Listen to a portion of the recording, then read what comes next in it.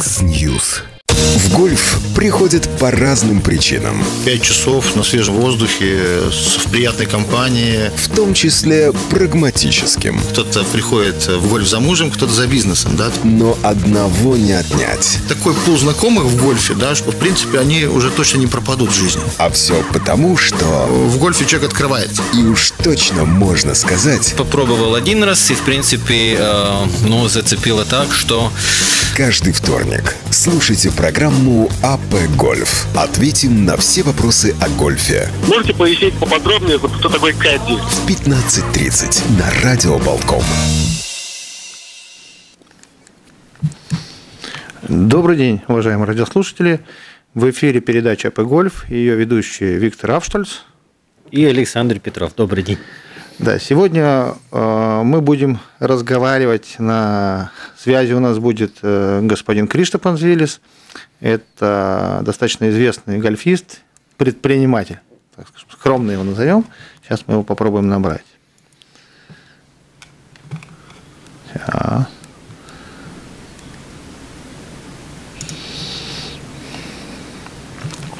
Ну и пока соединяется. А, сезон у нас продолжается, а, открываются гольф-клубы, те, которые не могли работать перед этим. Вот, прервали. Вот Виллис. А, и есть соединение. Да. Виллис, приветствую. Добрый день. Нас слышно? Обоих? Слышно очень, очень хорошо. Виллис, вот, э, большое спасибо, что откликнулись на, на наше приглашение. Э, сегодня мы хотим поговорить о вас, а как пришли в гольф, э, что привело, как, остались. Вот давайте как бы начнем с того, как вы вообще узнали про гольф. Ну, про гольф я знал э, как бы немного долго до того, как я, как я начал. Я был еще тренером команды ВЭФ, мы были в Австралии в 89 году. И там нас привели в гольф, в Сиднее, гольф поле. И я первый раз взял клюшки руки, но как-то подержал, подержал, ударил пару раз. И как-то, ну, забыл чуть ли про это. И только через, через 10 лет, в 2000 году, я начал тренироваться и как бы, ну, играть в гольф. 20 лет назад. Достаточно большой срок. А, вы, в принципе, начали играть в Латвии? Нет, вы знаете, так, так получилось, что я ушел из политики 20 лет назад. Я попал в Америку и попал как раз в гольф-клуб. Я смотрю, вокруг все что-то делают, занимаются, там, играют. Я думал, давай я тоже попробую. И пошел к тренеру и сразу начал, там, взял урок. Э, мне как-то это все, ну, не то, что понравилось, но было интересно. И через месяц приехал в Латвию, как раз открывался сезон. Было, было только поле Вестуры, Озо еще не было. И я сразу участвовал в первом турнире. Это в апреле еще. И я, как сегодня помню, мой результат был 145. Такое не забывают. Даже для первого соревнования такое не забывают. Ну а, а со 145 и гандикап, скорее всего, что тоже большой, может иметь. Ну, не было вообще у меня никакого. Ну что, 36 там. И потом, потом, но я довольно так э, начал стараться сначала и довольно быстро сделал прогресс. В конце первого сезона у меня было уже довольно много кубков на полке. Мы все в начале сезона, в первое время у всех кубок, кубков много, потом становится меньше. Э, Виллис, такой вопрос. Э, я знаю, что э, кроме тебя, кроме вас еще играют дети активно. Как, как они попали в гольф?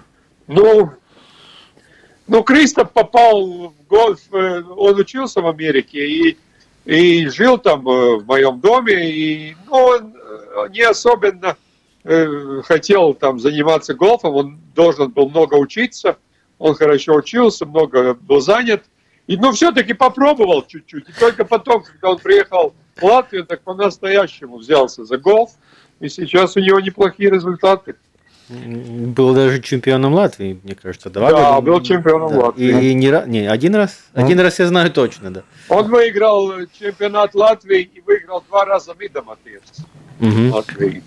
Э, а сейчас может быть, я хотел бы спросить, э, как э, человек, который возглавлял Федерацию гольфа Латвии, да, в свое время, как вообще вот с точки зрения федерации, вообще, в принципе, вот в разрезе вот с какого-то времени, насколько динамично идет развитие гольфа в Латвии? Ну, я бы сказал так, у нас полей больше, чем, чем э, добавляется игроков, потому что до сих пор еще все поля у нас ну, не загружены полностью. Э, как-никак у нас есть э, э, два очень хороших поля, это Ozo и Jurmala Golf Club, и потом у нас есть целый ряд полей, которые девятилуночные, но которые очень хорошие. Например, вчера мы играли в Сигулде, Reiņa trase, я бы сказал, очень хорошее поле. Виестури, Тукумс, Валмера. У нас э, поля есть, были бы игроки. Но при, то, что прибавляется, это э, видно невооруженным глазом. Я когда был в Озов на прошлой неделе, столько новых лиц э, видел на тренировочном поле. И также Юрмала сейчас откроется так поле тренировочное. Я думаю, будет приток. Ну, конечно, не то, о чем мы мечтали в свое время.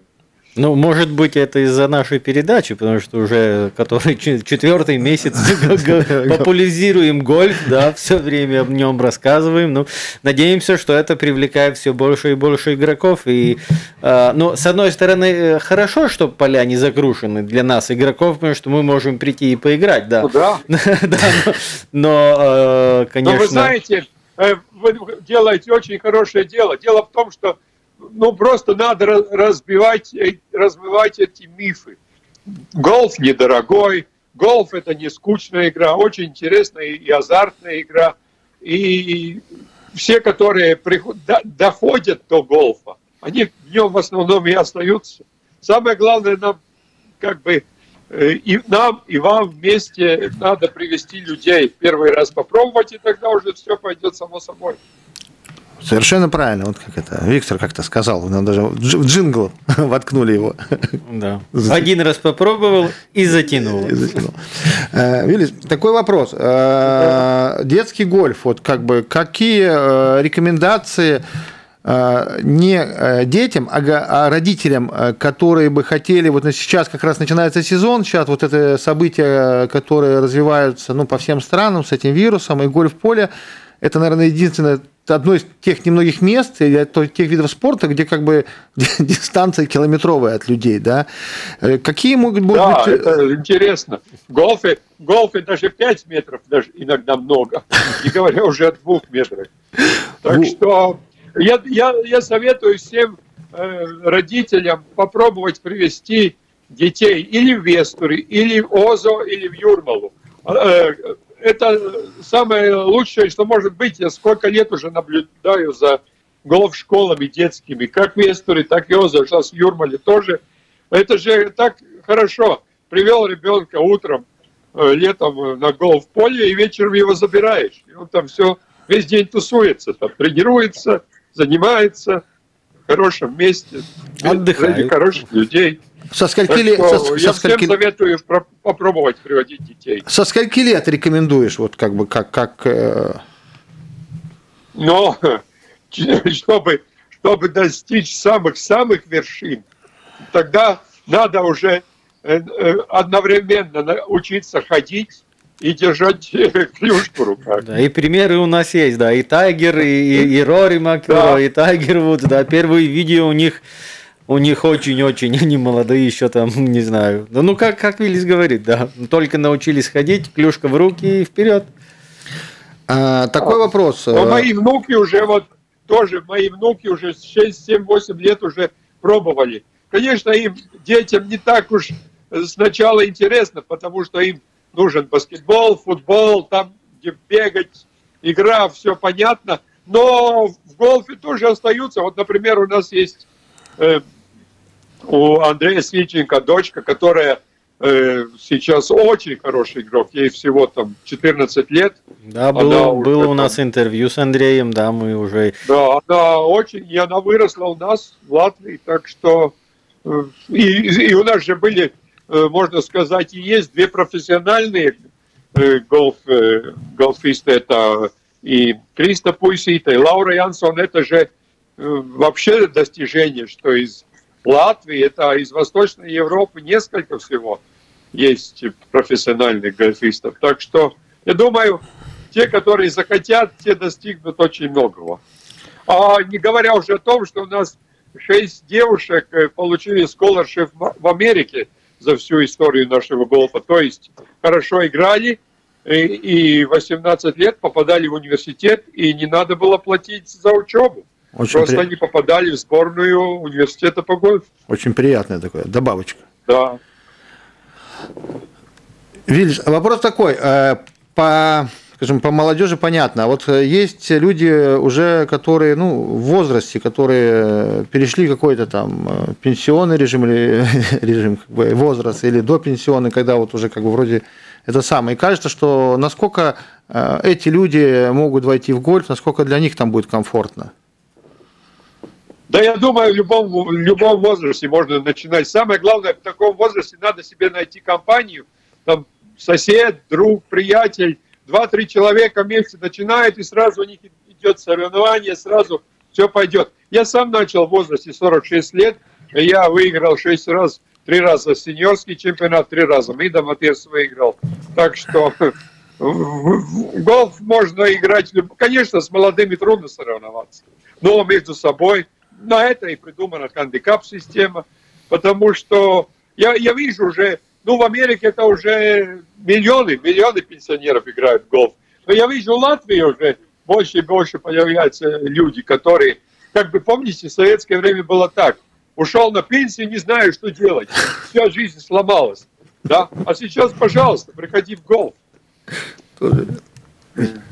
А, мы всем гостям спрашиваем, а, кто у нас были, да, рекордсмен у нас э, господин Гаврилов, да, сколько полей, сколько стран, если можно припомнить, сколько, в, скольких, в скольких странах играл, какое любимое поле, да, и, и, и где нравится играть больше всего, это Америка или все-таки Азия, или дома в Латвии?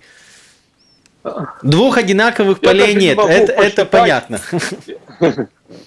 Я дома, я даже не могу посчитать, я не такой гольф-турист, который коллекционирует поля, но я, ну, так по случаю был во многих э, странах. Но, конечно, я люблю играть в Латвии, потому что я такой человек, который любит играть и соревноваться, и любит, ну, на хорошем уровне играть, и поэтому некогда ездить, особенно туризмом заниматься. Но в Латвии же очень приятный и долгий сезон.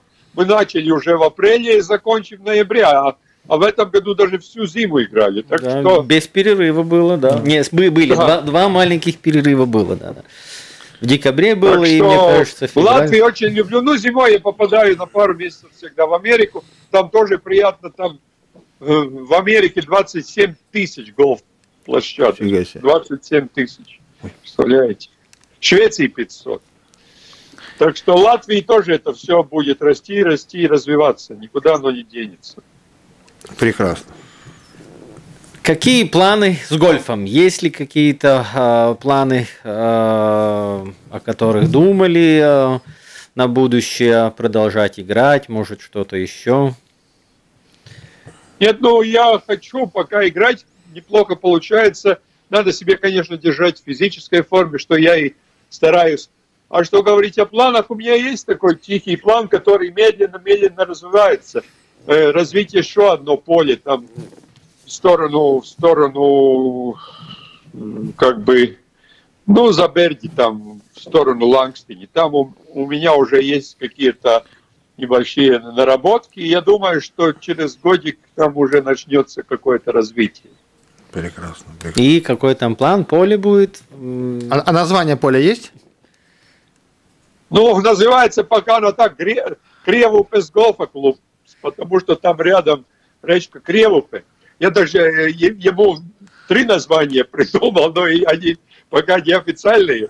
Голф-клуб «Черная речка» или голф-клуб э, Black River.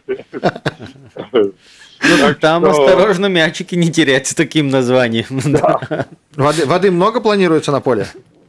Да, там много воды, там очень хороший рельеф, там, ну, недаром я долго искал, долго искал, пока нашел это идеальное место для гольф-площадки.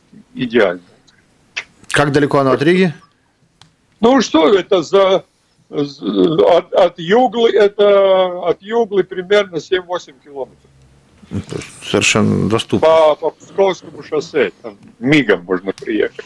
Девятка или 8, 9 лунок или 18? Не, ну как минимум 18, а то и может 27.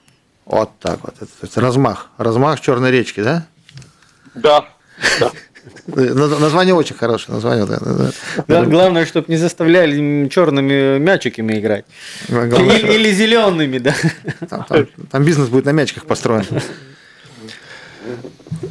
Хорошо, Велес, такой вопрос еще один, который вот можем, как бы вот тут мы тут подзаканчиваем. Значит, э, что бы э, ты пожелал людям, которые хотят Э, но боятся, ну, по разным причинам, опять же, мифы дорого, там, э, как бы это, там, какой-то для каких-то там э, или еще что-то. Вот что бы пожелал, как бы им, какое напутствие бы дал со своих вот большого количества лет игры в гольф, со своего опыта, чтобы вот какое-то такое короткое слово, что, что бы порекомендовал бы? Просто надо прийти, не стесняться и прийти в гольф-клуб, любой, и там уже все покажут, дадут клюшки, покажут, как, как э, надо бить по мячику. Это не будет стоить даже никаких там больших денег. И потом уже самим принимать решение, как, как идти дальше. Ну что, большое спасибо. Да, большое спасибо. Главное не стесняться и взять смелость себя заставить просто приехать. Или Озо, или Юрмалаговку, или Вестур, или Сильбуда, Балмера. Да. Ну, есть же поля. Да, мы у нас, мы, мы проходили, да, сколько, 11 полей мы, на, мы набрали, да, со всеми 8, 6 э, луночными, и 8 и 9 луночными, так что почти вся, есть, почти есть вся Латвия покрыта. Все, да. все сейчас знают, что такое Waze, да, просто Waze, надо поставить golf club, допустим, Юрмала, ближайший, который есть, и плюс Waze привезет туда, и все, заходить в clubhouse, заходить в ресепшн и сказать, я хочу попробовать. Вот и все. Вас да, это ты... везде вежливо примут. Ну, наверное, самые, самые главные три слова «я хочу попробовать». Да. Да. да. Хорошо, Игорь, большое спасибо, что нашел время. Спасибо вам за передачу. Удачи. На связи. До свидания. До свидания. До свидания. Ну что, Виктор, сегодня у нас был хороший гость. Виртуальный, правда, но все равно гость. Сейчас, сейчас только виртуальный, сейчас по-другому нельзя. Надеемся, что что-то уже пойдет в лучшую сторону с этим коронавирусом, да, уже какие-то, если смотреть по миру, по Европе, в той же самой Италии уже послабления появляются, так что надеемся, что заболевших, как и сегодня, не, как и вчера, не будет, э, что будут люди э, выздоравливать, да. Э, ну, и... ты, ты как врач говоришь, да? Да. Ты как врач говоришь. Да, и чтоб, чтоб ну, будем желать всем здоровья и не болеть. А скажи, пожалуйста, как у тебя сезон идет? А в этом году плохо. То есть это связано с какими-то внутренними особенностями или? Я все время сам тренируюсь, пытаюсь изменить свой удар, и как-то одна игра хорошо, одна плохо. Последние, последние три, мне кажется, были самые плохие за сезон, а, а перед этим три были а, одни, да, самые лучшие за сезон. Так что все, все в голове, да, надо тренироваться. Сейчас, к сожалению, меньше времени тренироваться, да, но эм, пойду, пойду дальше к тренерам, э, хватит самоучением заниматься. И надо, надо возвращаться в гольф, потому что последние три игры были ужасными. Ужасными. Ну, это может быть неплохо. Иначе ну, бы... как для кого, да? Ты меня обыгрываешь. Да, как у тебя? Мы не играли вместе сейчас э, месяц. Да, нет, месяц. Нет, ну, три, не, да, месяц. Сейчас Юрмала открылась, как бы, и она, знаешь, это затащила поближе ездить. То есть, как бы, Юрмала, ну, Юрмала тоже, как бы, немножко унижений, как бы, но так, вот я играл вчера 18 лунок, 9 лунок просто идеальной игры и 9 лунок э, сомнительных. Сомнительных такой. Вчера вот как раз я на поле познакомился с Андреем, мы в одном флайте шли, это э, человек, который только в прошлом сезоне пришел в гольф, у него очень хандикапа нету, И достаточно... Обыграл тебя? Да. То есть по результату нет, но с учетом, что нет хандикапа, да, он меня обыграл, но это говорит о том, что появляются люди, появляются э, какие-то, ну, он, он уже в возрасте потихонечку подходит к пенсионным как раз, вот, и вот он э, занялся, и вот его затянуло тоже бегает с клюшками, радуется. Ну да, было, когда, когда могли, могли себе позволить, да, тогда на поле были каждый день. Да. Это, да, это я думаю, один из показателей того, что люди, которым которые любят гольф, они находят время, чтобы как можно больше его, даже там приехать на часик на тренировочное поле, это не обязательно выходить все время на 18 лунок, да, другой раз это 9 лунок, другой раз это тренировочное поле, но все равно были времена у меня, когда я был два раза, два раза в день. Ой, э, каждый день, другой раз э, там с перерывом каждый второй день. Это прекрасно. То есть можем сказать слушателям, что сейчас у нас работают все поля, э, где-то, может быть, с ограничениями, но уже они запустились, и, в принципе...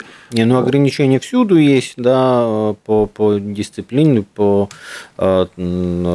поведению на поле, да, и по количеству людей это, конечно, есть, но поля работают. Вот. И, соответственно, мы можем сказать, что жители э, той стороны Задвинья, где находится Озовец, Милгравис, это вся история, может спокойно посещать Оза, Сигулду. Э, люди, которые живут в стороне Имонта Юрмала, Юрмальский гольф-клуб в Вестуре, который сейчас с удовольствием принимает да, ну дальше, если смотреть Тукумс, Валмера, да, тоже. Тукумс, Валмера, а Валмера запустилась тоже, да? Да, да, да. Вот, ну, вот, то есть у нас на сегодняшний день, то есть поля, в принципе, активно работают, и радиослушатели могут, э, ну, наверное, прийти буквально в любой гольф-клуб, и всегда будет э, человек, который с ними займется, мы просто сейчас вот в связи с событиями мы не сможем анонсировать эти гольф-дни, потому что они сейчас все перемешались. Ну, перенесли да, было планировано на майские дни, мне кажется, на следующую неделю, но сейчас перенесли их э, на середину июня, но так как мы не знаем ситуацию э, в стране и в мире, то э, те, кому интересно, следите, пожалуйста, на странице гольф ассоциации? Ну, я думаю, что мы этот момент попробуем э, в сотрудничестве с Болтком и с Микс-группой анонсировать э, на Mix LV, Mix News LV, есть, да? Mix News LV, чтобы радиослушатели могли приехать, порадоваться погоде как бы, и попробовать себя в этом прекрасном виде спорта. Ну, на сегодня, наверное, все. Мы прощаемся с вами. Всего хорошего.